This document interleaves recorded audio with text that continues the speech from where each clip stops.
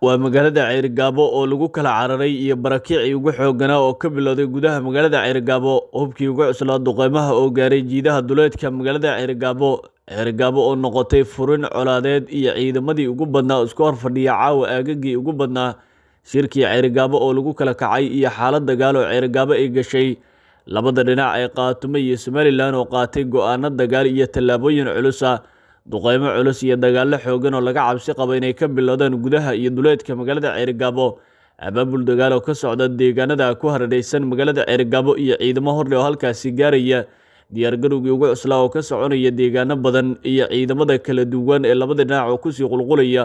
Xogtii ugu dambeysay xiisada dagaal ee weli ceerigaabo ka taagan shirkii xaaladda colaadeed ee magaalada ceerigaabo oo lagu kala kacay iyo xaalka caawa ee ceerigaabo iyo deegaanada ku haradhaysan ayaan kula wadaagi doonaa daawade intaana gudagelin faahfaahinta qodobadaasi fadla muuqaalka laag taabo una sii sheergaree saaxiibadaada kala duwan ee kugu heliyey baraha bulshada ugu soo biir daawade. Hadday tahay markii kugu horeysay aada soo booqatay janalka si aad mar waliba halkan kala socoto wararkii ugu dambeeyey ee dalka iyo dibadda xoga xasaasiya iyo warar xaqiiqda ku salaysan. Waa magaalada ceerigaabo oo lagu kala cararay iyo barakicii ugu xooganaa oo xilligan ka bilowday gudaha magaalada ceerigaabo dadkii ugu badnaa ee ku dhaqnaa magaalada ceerigaabo ayaa bilaabay xilligan in halkaasi ay isaga barakacaan iyaga oo markaasi u jihaysanaya dhanka iyo deegaanada kala duwan ee ku haradhaysan magaalada ceerigaabo wararka ayaa tilmaamaya in labada daan ee magaalada ceerigaabo xilligan ay ka bilowdeen qaxi ugu xooganaa iyadoo la arkayo dadkii ugu badnaa oo labada dhinac ee magaalada u kala qaxaya iyagoo si weyn markaasi uga cabsi qabaa in mar kale halkaasi uu dagaal culusi ku dhex maro labada dhinac ee qaatumo iyo sidoo kale maamulka somalilan oo halkaasi soo dhoobay ciidamadii ugu badnaa. Xaalad nabadeed oo aan cago badan ku taagnayn ayaa ka taagan magaalada ceerigaabo iyo deegaanada ku hareeraysan halkaasi oo si weyn caawa mar kale isku hor fadhiyaan ciidamadii ugu badnaa ee labada dhinac awoodaha ciidan ee halkaasi soo kala gaaraya ayaana ah kuwa cabsi gelinaya dadka ku dhaqan magaalada ceerigaabo iyo deegaanada ku hareeraysan. Wararkii ugu dambeeyey waxay tilmaamayaan in dadkii ugu badnaa magaalada ceerigaabo ay maanta ilaa caawa bilaabeen barakaca iyo sidoo kale in guryaha magaalada ceerigaabo ay halkaasi isaga tagaan cabsida ugu weyn iyo digniinta ayaana sheegaysa in daqiiqad walba halkaasi uu mar kale ka qarxi karo dagaallo xoogan oo u dhexeeya labada dhinac dadka shacabka ee ku dhaqan halkaasi ayaa sidoo kale si weyn uga cabsi qaba hubkii ugu cuslaa ee duqeymaha oo halkaasi gaaray xilligaana si weyn isugu hor fadhiyaan labada dhinac jiidaha deegaano badan iyo aagagii ugu badnaa ee duleedka magaalada ceerigaabo hubka culus ee duqeymaha ayaana sababi kara dhibaatooyin ku aadan dhanka iyo dadka ku dhaqan gudaha magaalada ceerigaabo waxaana xilligan halkaasi si weyn dadkii ugu badnaa ay bilaabeen inay isaga barakacaan waxaa la arkayaa gaadiid fara badan oo sida dadkii ugu badnaa oo isaga barakacaya magaalada ceerigaabo labada daan ayaana dadkii ugu badnaa xilligan waxa ay u baneeyeen aago kala duwan. Iyada oo mar walba gudaha magaalada ceerigaabo cabsidii ugu weyneed iyo digniin dagaal ay halkaasi ka jirto.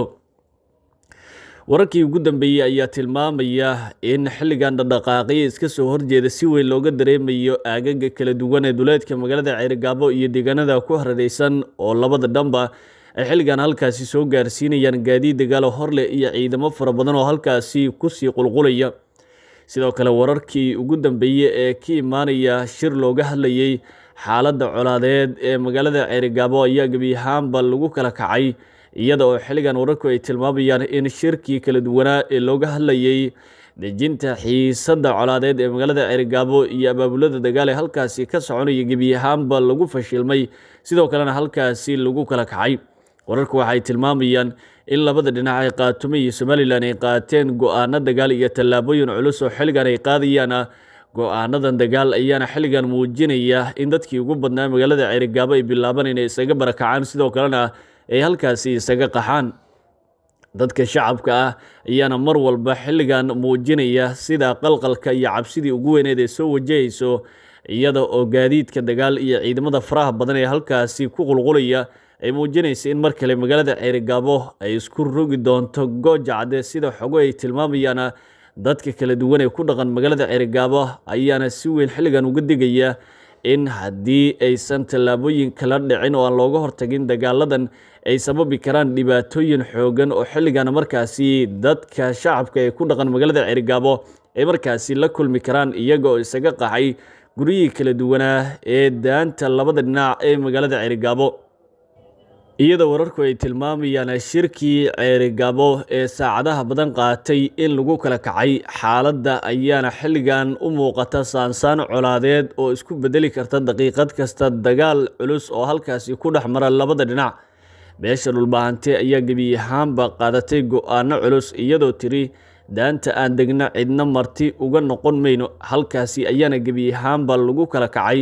iyada oo go'aano culus halkaasi ay gaareen labada dhinac tallaabooyinkan ayaa muujinaya sida xaaladda dagaal ee xilligan halkaasi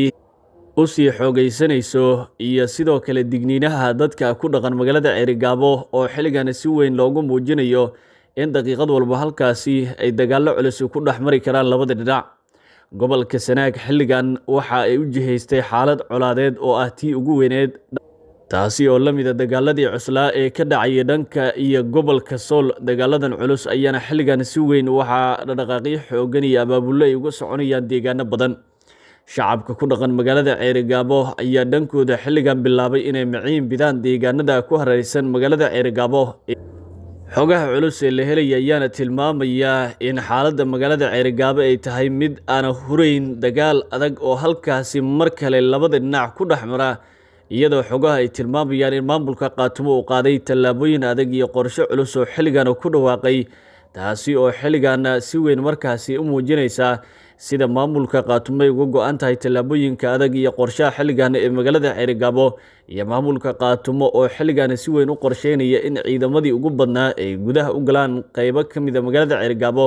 gaar ahaan halka maamulka qaatumo ay qorsheynayaan in halkaasi laga hirgeliyo daanta ka mid a magaalada ceerigaabo maamulka qaatumo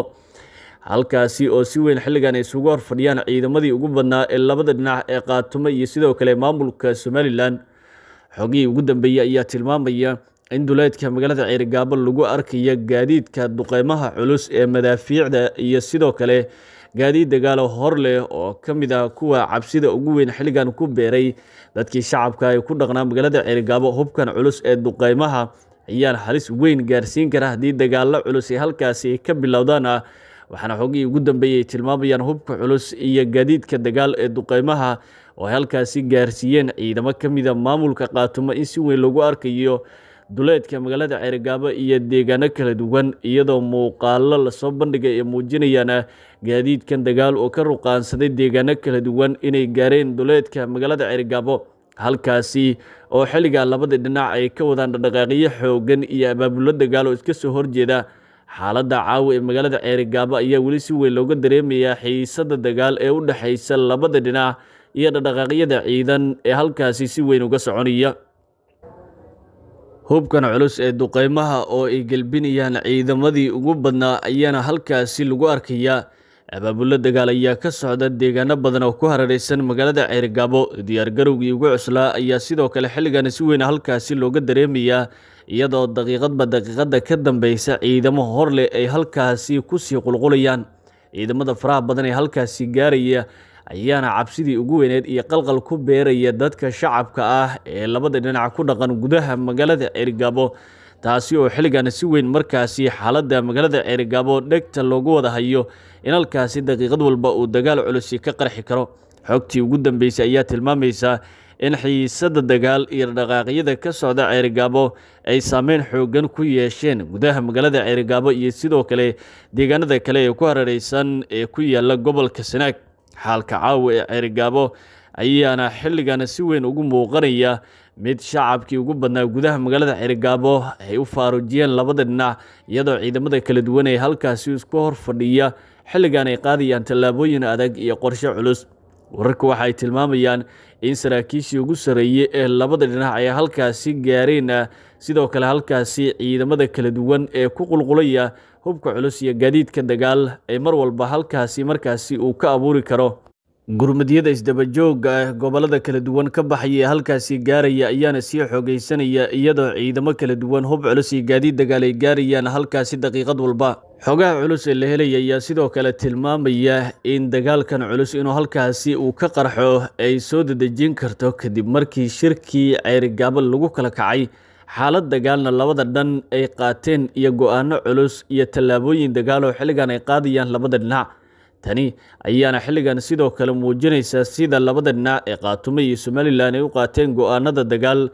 iyo tallaabooyinka culus ee halkaasi ka soconaya. Maamulka qaatumo waxaa ka go-an in ceerigaabo maamulka qaatumo uu ka shaqeeyay sidoo kalena xilligan markaasi laga hirgeliyo daanta ay ka degaan beelaha ka soo jeeda maamulka qaatumo ee magaalada ceerigaabo iyada oo gebi ahaanba ay diideen markaasi qorshaha iyo tallaabooyinka maamulka muuse biixi ee magaalada ceerigaabo iyo tallaabooyinka uu qaadayo. Xaaladda dagaal ee halkaasi ayaana xilligan muujinaysa go'aanada culus xilligan ay gaarayaan maamulka qaatumo iyo sidoo kale go'aanadii ugu dambeeyey ee laga gaaray shirkii ugu dambeeyey oo xilligan si weyn loogu kala kacay